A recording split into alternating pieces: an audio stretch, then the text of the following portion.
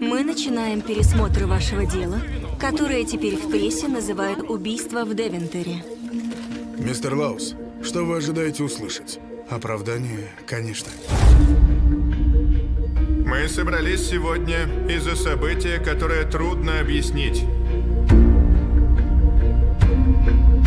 Он положил глаз на деньги Жаклин Виттенберг. Вы знаете, что вы не правы. Нет! Все в этом подстроено. Все! Был приговор. Это я могу оценивать.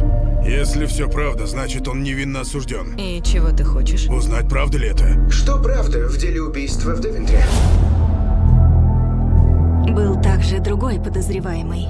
Он знает то, что может знать лишь убийца. Тебя назвали разнорабочим.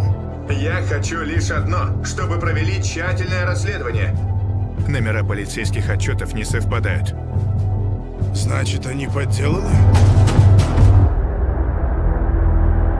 Значит, он Да, на сто процентов. Наверняка он убийца. человека обвиняют в убийстве.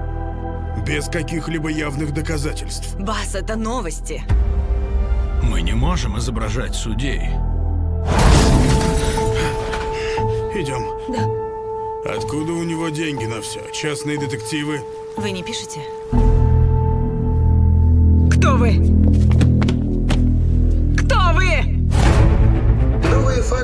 Противоречивом деле об убийстве в Девентре. И все это ДНК мистера Лауса. Бухгалтер не бухгалтер, разнорабочий не разнорабочий. Как только что нам сообщили, в могиле вдовы Жаклин Виттенберг нож обнаружен не был. Главное не содержание, а имидж. Не в правде, а в том, что тебя убеждают, что это правда. А я думаю, люди хотят знать правду. Мы в прямом эфире через пять, четыре, три. Громкое дело.